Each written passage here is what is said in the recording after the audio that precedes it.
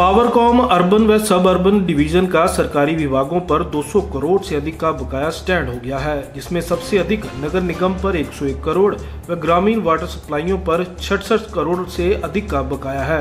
निगम और water supply विभाग पिछले लंबे समय से केवल करंट बिल जमा करवाकर ही काम चला रहा है पावरकॉम हायर अथॉरिटी ने जहां उच्च स्तर पर दबाव बनाना शुरू कर दिया है वहीं स्थानीय अधिकारी विभाग प्रमुख अधिकारियों से बकाया राशि आगामी 15 दिनों तक जमा करवाने के लिए कह रहा है बकाया जमा ना करवाने पर कड़ी कार्रवाई की बात भी कही जा रही है ਲੋਕਾਂ ਨੂੰ ਦੇਖੋ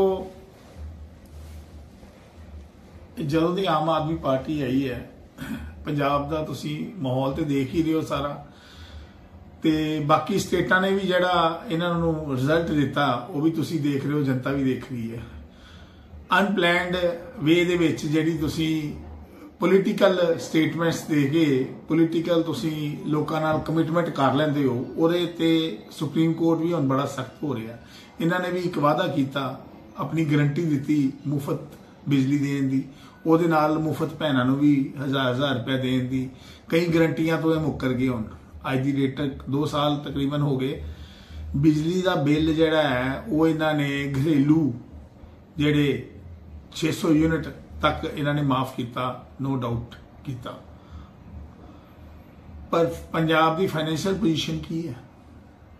60000 ਕਰੋੜ ਰੁਪਇਆ ਤੁਸੀਂ 2 ਸਾਲ ਦੇ ਵਿੱਚ ਪੰਜਾਬ ਦੇ ਉੱਤੇ ਹੋਰ ਕਰਜ਼ਾ ਚੜਾਤਾ ਪੰਜਾਬ ਦੇ ਉੱਤੇ ਕਰਜ਼ਾ ਇਸ ਟਾਈਮ 4 ਲੱਖ ਕਰੋੜ ਪਲੱਸ ਹੋ ਗਿਆ।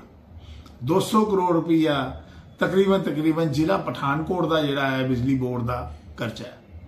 ਕਾਰਪੋਰੇਸ਼ਨ ਨੇ ਮੇਰੇ ਹਿਸਾਬ ਨਾਲ 100 ਕਰੋੜ ਰੁਪਇਆ ਤੇ ਇਕੱਲੇ ਕਾਰਪੋਰੇਸ਼ਨ ਦਾ ਹੀ ਹੈ। ਬੜੀ ਸ਼ਰਮਨਾਕ ਗੱਲ ਹੈ। ਇਹਨਾਂ ਨੇ ਉਦਯੋਗਿਕ ਜਿਹੜੇ ਇੰਡਸਟਰੀ ਹੈ, ਜਿਹੜੇ ਕਮਰਸ਼ੀਅਲ ਸ਼ਾਪਸ ਹੈ, ਉਹਨਾਂ ਦੇ ਤੇ ਯੂਨਿਟ ਦੇ ਰੇਟ ਹੋਰ ਵਧਾਤੇ ਹੈ।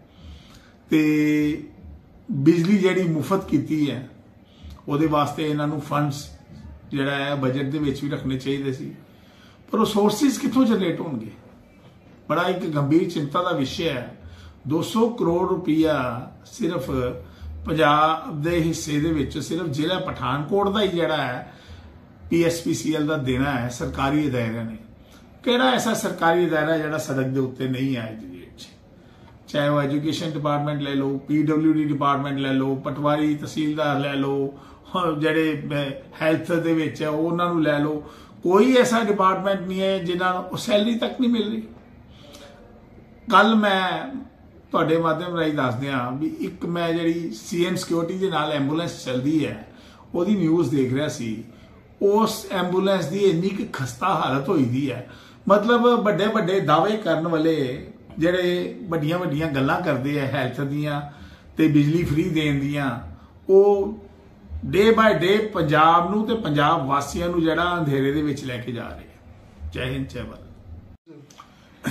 ਦੇਖੋ, ਜਿਸ ਤਰੀਕੇ ਨਾਲ ਤਕਰੀਬਨ ਜ਼ਿਲ੍ਹਾ ਪਠਾਨਕੋਟ ਦੇ ਉੱਤੇ 200 ਕਰੋੜ ਰੁਪਏ ਦਾ ਪੀਐਸਪੀਸੀਐਲ ਦਾ ਕਰਜ਼ਾ ਚੜ ਗਿਆ ਸਰਕਾਰੀ ਡਿਪਾਰਟਮੈਂਟਸ ਦਾ ਬੜਾ ਇੱਕ ਵਿਚਾਰ ਕਰਨ ਵਾਲੀ ਗੱਲ ਹੈ ਕਿ ਵੀ ਜੇ ਇਸ ਤਰੀਕੇ ਦਾ ਸਿਰਫ ਜ਼ਿਲ੍ਹਾ ਪਠਾਨਕੋਟ ਦਾ ਹੀ 200 ਕਰੋੜ ਰੁਪਇਆ ਹੈ ਤੇ ਹਜ਼ਾਰਾਂ ਕਰੋੜ ਰੁਪਇਆ ਇਹਨਾਂ ਨੇ ਪੀਐਸਪੀਸੀਐਲ ਦਾ ਦੇਣਾ ਹੈ ਪੰਜਾਬ ਸਰਕਾਰ ਨੇ।